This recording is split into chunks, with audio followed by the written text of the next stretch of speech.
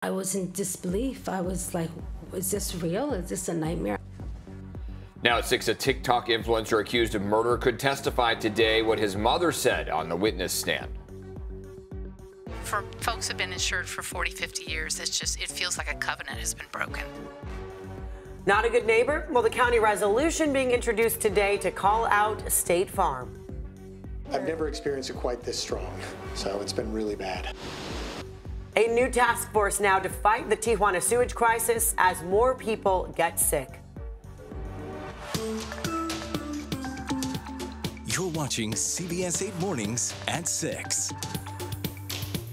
Good morning, and thanks so much for starting off your Tuesday with us. 6 a.m. now. I'm Eric Kahnert. And I'm Neda Iranpour, and let's start off with your forecast. You might like what you see. Ah, okay. Yes, uh, so look at this. We do have a little bit of cloud coverage, but you already see it break apart, even in Coronado. Mm-hmm. Beautiful Hotel Del showing off this morning. A sign that we actually will be warmer than yesterday. There's that sunrise coming on up. Uh, from our mountains camera, looking out towards the east, of course. And a lot of you might actually see the sun even this morning. Take a look at your weather headlines. Better chance of clearing today. We're already seeing that. Still staying a little bit below average, and May Gray will still be on repeat through next week. Let's turn now to our top story here. The man charged with murdering his wife and her friend at an East Village apartment in 2021 could take the stand as early as today. CBS 8's Regina Yarita live downtown with more on his mother's testimony here. Regina? Yeah, guys, and that's correct. Ali Abulaban could take the stand as early as today. Uh, so far, the jury has heard from the prosecution, other witnesses, even disturbing audio messages, and they have even seen a picture that Abulaban sent to his mother back in October of 2021 after the killings. Take a listen. Do you recall talking to him on the phone? I just recall saying, you know, that's not funny. That's that's not funny, Holly. Don't say that. That's not funny. And then I received the picture. I looked and I deleted it right away. And I hung up the phone and I literally fell on the ground. And that is Ali Abulaban's mother as she took the stand yesterday before testifying. She blew a kiss to her son. She then talked about the call she got from Abulaban saying he had just shot and killed his wife Anna and her friend Ray Barron. Now that picture she mentioned, I can tell you is too gruesome to show on television. It shows Anna and Ray dead on her couch. The killings happened back in October of 2021 inside a luxury high-rise apartment in the East Village. While in court, Abulaban's mom says her son was always hyper and eventually got diagnosed with ADHD. She also says he grew up in an abusive household beaten by his dad. Now, yesterday, at one point while in the courtroom, the deputy district attorney also accused Abulaban's mother about not telling the whole truth to try to protect her son.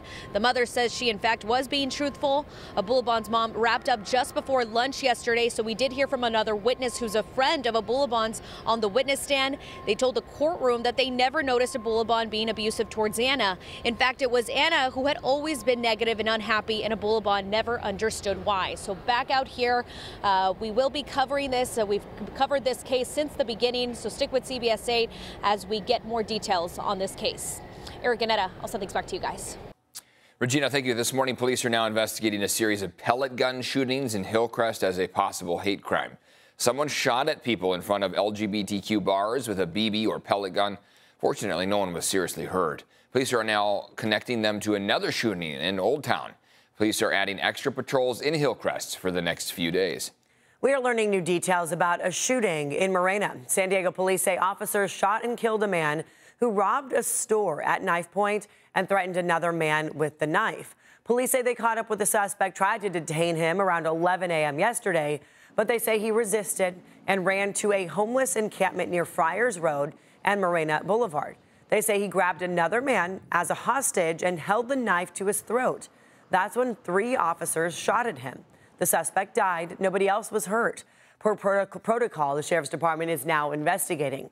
And that was the second shooting involving San Diego police in less than 24 hours. We brought you this story as breaking news yesterday morning. It started with a domestic violence call in Chollas View after a woman said her ex boyfriend threatened to shoot her and then took their baby. Authorities say the man refused orders to disarm himself and surrender. Authorities say that's when a police officer opened fire on the man while the baby was still in the suspect's arms. The suspect was taken to the hospital and the baby was not hurt. New this morning, one person is dead after severe turbulence aboard a flight from London to Singapore.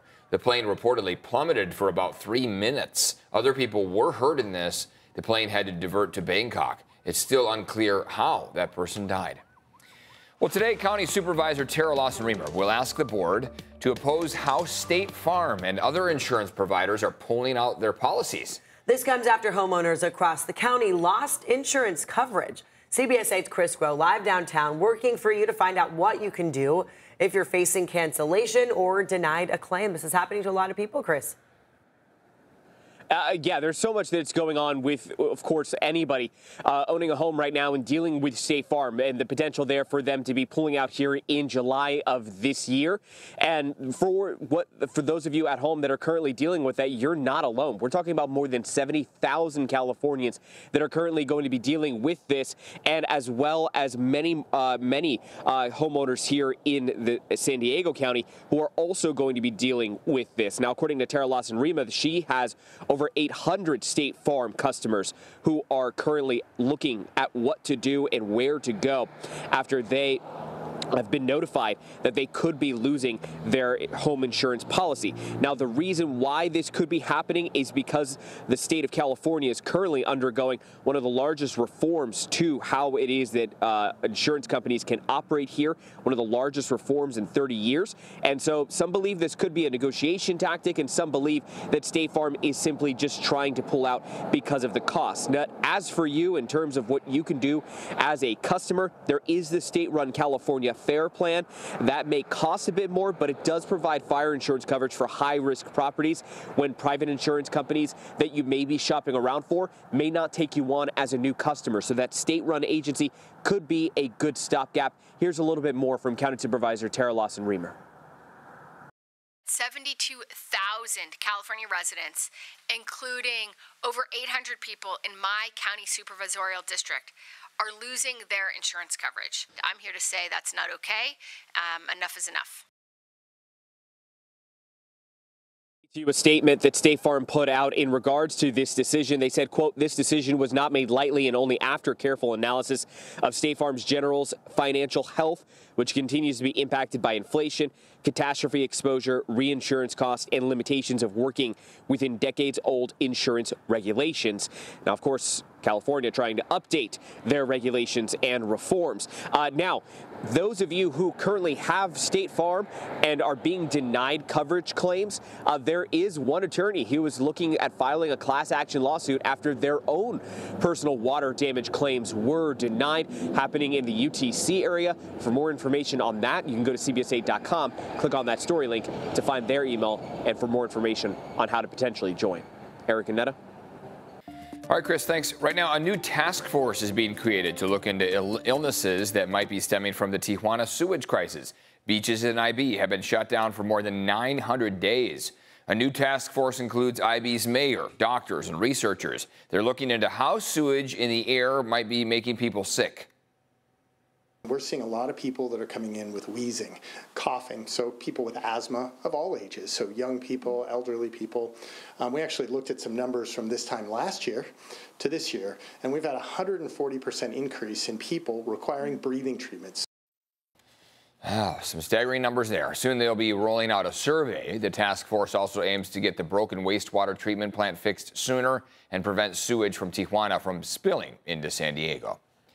Of course, that's a problem mm. exacerbated when we get rain, which, uh, Neda, we haven't seen in quite a while. Been pretty dry out there and, uh, and mm. blue as yes. well. Uh, blue skies to start off, which I know uh, it's kind of a rare sight. I guess we saw it over the weekend, uh, early Saturday morning, for example. But then during the week, it seems like we've been on this repeat of gray mornings, and now we see the sun coming through. So this morning, a lot of you waking up to clearer skies. Not so much North County, the coastline especially, but it does look like uh, across the South Bay, things are starting to clear and you can actually see that sun coming through. Uh, overall, the satellite imagery does show we had the marine layer pretty far inland overnight and then early morning hours, this is the three hour loop, started to see it break apart, moving further back. So downtown, you might be getting a little bit of blue sky right now. Same with OB, perhaps maybe even La Jolla. This is our view from Mount Soledad, where it is clear at the top of the mountain. Over Mission Bay, not so much. And uh, so it does look like it's kind of hit or miss on your neighborhood. But 59 degrees, that's for downtown San Diego. And our west winds are a lot calmer this morning. 57 in Del Mar, 53 Poway, 55 in El Cajon. And that's part of the reason we're not seeing as much of that marine layer sticking around. Yesterday it was pretty stubborn in the morning, but by the middle of the day, it did eventually clear. We had a little cooler weather kicking in. For today, expect it to be warmer, 71 by 1 o'clock o'clock in Ramona. So that should feel comfortable for a lot of you. Low 70s will be your highs in inland valleys along the coast in the mid to upper 60s. Hey, you might even hit 70 with that sun shining so much earlier. Three to five foot waves yet again, but no beach hazard statement today. Please note rip current risk is high though, so just be careful. If you're not an experienced swimmer or surfer, you'll want to ask the lifeguards where to be. Uh, checking in on traffic, no major crashes that I see right now across all of San Diego. Uh, one thing do you want to mention, this might impact you. Uh, the exit ramp from the 54 going southbound to Briarwood Road. The shoulder's blocked because of a stalled car, but that's kind of it. And you'll notice the 5 northbound starting to get a bit busy from Chula Vista into National City. More and more people are just headed out right now. Uh, but drive times are looking great. 5 southbound, it'll only take you about eight minutes. Here's a look at the border web wait times from Customs and Border Protection. 80 minutes to get through the San Ysidro Port of Entry. And the general line there in Otay Mesa will only take 60 minutes. Eric. All right, still ahead here, former President Donald Trump's social media account shares a post mentioning a, quote, unified Reich, what the campaign is saying about that. Plus, authority to shut down the border, what a revived bipartisan bill includes. Planet Flip is a browser-based app that will bring the excitement of the game show to environmental causes. I'm Sean Stiles. We'll take a look at it coming up on CBS 8.